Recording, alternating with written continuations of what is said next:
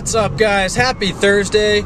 It is 5:10 after an awesome day at the office, and there goes Ken Day on. So I'll take that. and I'll be back in a minute.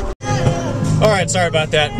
I, I love speakerphone because it goes through the car system here, so it's it's really easy to be able to to, uh, to talk for a second while driving. Oh, hold on. Okay, he made a turn.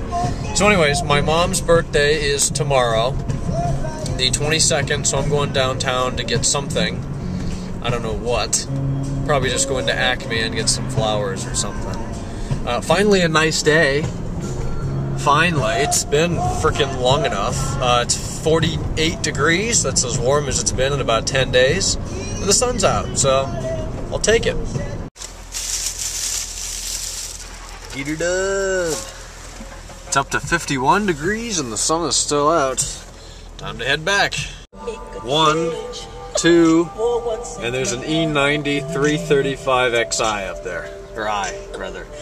Nice.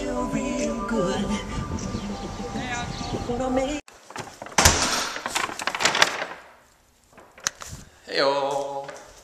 We're out in the garage again. It is 10 o'clock, and there are people sleeping in my house. It's so funny. They get up early, and I guess they go to bed early. So I'm out here loading up the trunk full of crap to give to my dad. Look at this. Look at this exhaust.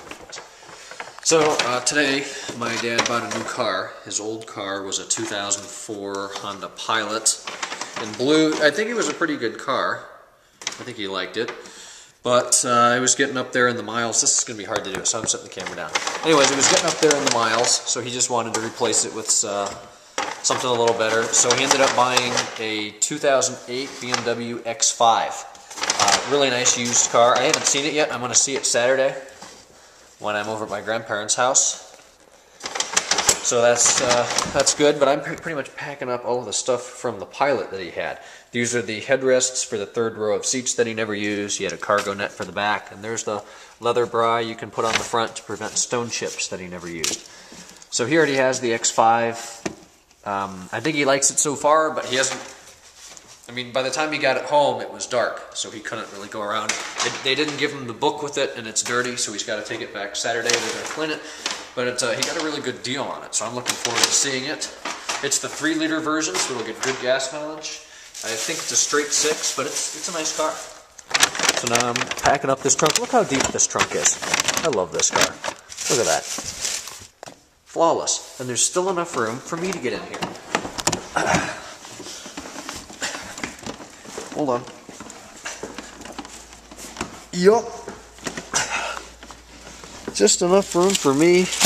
I could fit the Mac in here and my cat. There's my personal light. Check this out. What other car can you carry three headrests, a leather bra, and we can almost close this if I trusted that the latch would work on it to get it back open. Which I do, I do actually have the keys with me. We're in here. Awesome. Done.